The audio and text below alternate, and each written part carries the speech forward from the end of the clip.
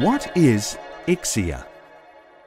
ICSEA is an index that expresses the level of socio-educational advantage of students in a school.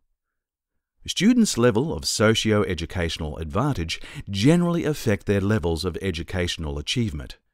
It also influences other outcomes. ICSEA is calculated using information on parents' education and occupation. It also takes into account other data, such as the proportion of students who are Indigenous and the extent of the school's geographic remoteness. The Commonwealth Government requires all schools to collect this information, and this information is then used by ACARA.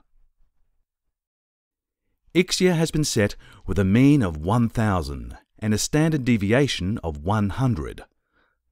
A school with an index of 1200 has students who, on average, are two standard deviations above the national mean level of socio-educational advantage.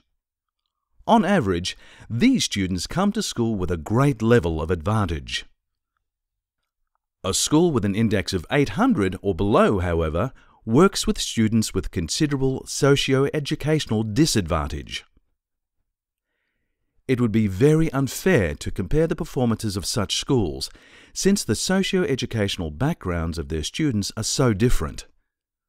But fair comparisons can be made among schools with students from similar levels of socio-educational advantage. ICSEA was developed to enable such fair comparisons. Over time, we have improved our data collection. We have also improved the method for computing the index. We now have good measures for the index at the individual student level, so we can provide a stable estimate of a school's average index, as well as a good picture of the distribution of students' indices around their school's average. Having a strong and valid measure of socio-educational advantage enables us to identify schools with which fair comparison of students' literacy and numeracy levels can be made. These comparisons reveal marked differences in students' level of literacy and numeracy among schools working with students from similar levels of socio-educational advantage. The high performers in these comparisons show the others that they should raise their aspirations for their students. The comparisons invite all schools to work to weaken the influence of socio-educational background on students' educational achievements. We know from comparisons provided by the OECD's Programme for International Student Assessment that in high performing countries such as Canada, Finland, Japan, and South Korea, differences in students' levels of socio educational advantage are less strongly related to differences in their educational achievement than in Australia.